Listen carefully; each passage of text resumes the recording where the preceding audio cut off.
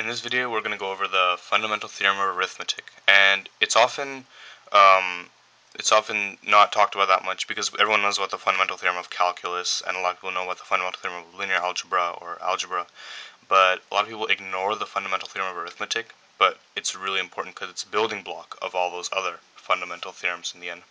So we'll just state how it is first. So just reading it, for each integer n is greater than 1, there exists primes uh, p1 less than p2 less than p3 all the way less than pr, which is the biggest prime we need, p sub r, such that n equals the product of all those primes.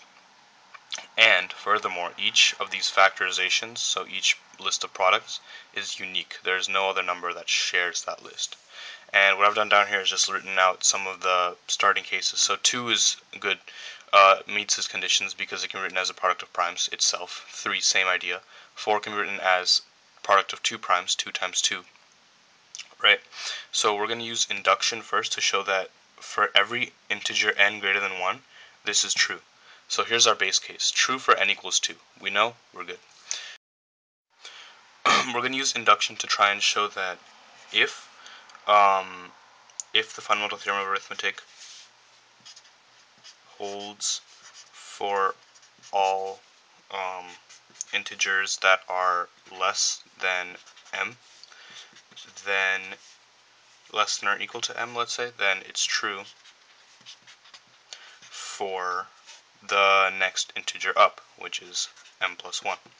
So let's put some, let's uh, remind ourselves of our base cases. So 2, 3, 4. 2 equals 2, check. 2, 3 equals 3, check. 4 equals 2 times 2. Check, check, check. So it's true for all those. So in the R case, let's let R m be equal to 4. So it is true for all integers less than or equal to 4, right? 2, 3, and 4. We're not using 1 because we stated we're not going to use 1. Um, so is it true for 5 or m plus 1 in general? So let's try to prove that just in general, if it's true for all integers less than or equal to m, then it's true for m plus 1. So now m plus 1 has one of two options. Either it's prime or it's not prime. If it's prime, that's great because then we can just write it as itself, which is a product of primes.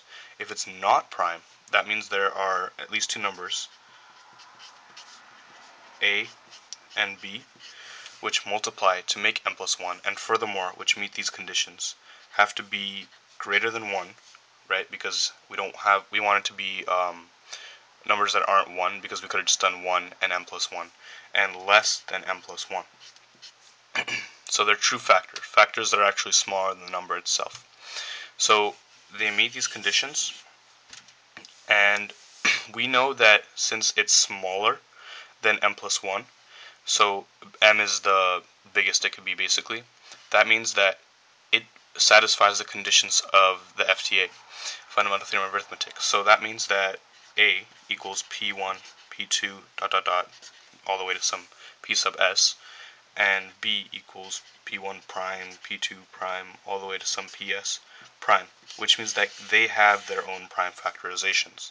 And if we just multiply these two together, then we get p1, p1 prime, p2, p2 prime, all the way to p sub s, p sub s prime, and that equals m plus 1 and that in itself is a prime factorization because these are all primes. So we've successfully shown that if it's true for um, all integers that are less than or equal to m, that it's true for the next integer up, which is enough to show that for all, by induction, all integers, this is true, except 1, of course. And now we're going to try to prove the next part of the theorem, which is that this factorization is unique. And again, we're going to go into, we're going to try to use induction. Let's use a blue color for this one. So we're going to prove uniqueness. Uniqueness is actually really important in mathematics. I might do a video on uniqueness at some point.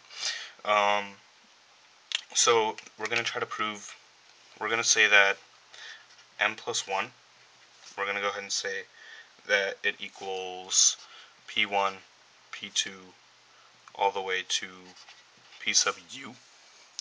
Let's make that look more like a u. Um, and there's also another prime factorization, so we're going to do, we're going to assume that there's another prime factorization, which is p1 prime, p2 prime, let's say all the way to p sub v.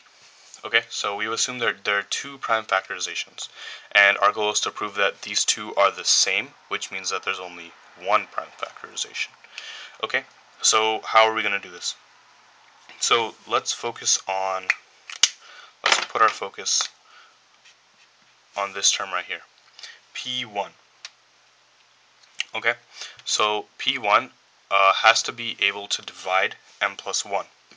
That means that, remember, m plus 1 over P1 gives us the rest, P2 dot dot dot, P all the way to Pu.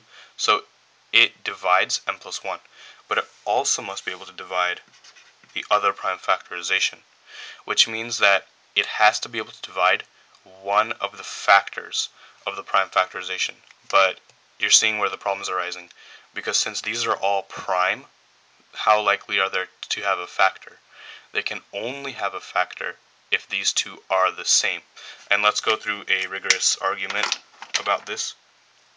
So let's say that we know that P1 equals some P sub j, uh, where j is one of these numbers over here, um, or equals some P sub j and that is greater than or equal to p sub i prime, right? Because these are an ascending numerical order. And we also know by reverse argument, let's say we use p1 prime instead of p1, and we did the reverse argument, we know that p1 prime equals some pi, where i is something from this list, and those are greater than or equal to p1. So notice what we've done here. We've shown that p1 is greater than or equal to p1 prime, and p1 prime is greater than or equal to p1, which is enough to show that p1 equals p1 prime. And we can repeat this argument for the other ones, because now p2 becomes the smallest, p2 prime becomes the smallest. And we can show that p1 equals p1 prime. We can show that p2 equals p2 prime. We can go all the way down and we can show that p sub u equals p sub v.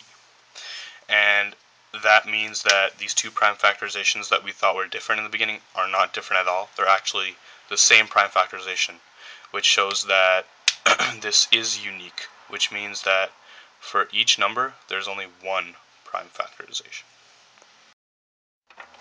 And a quick side note, what we also could have done is used induction here. We could have said that um, we have we show that if uh, unique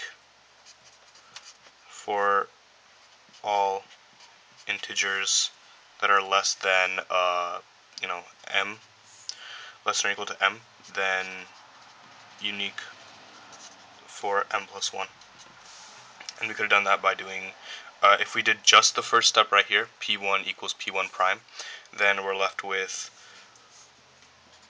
m plus 1 over uh, p1 equals p2 all the way to p sub u and that also equals um, remember p1 prime was the same as p1 so p2 prime all the way to p sub v.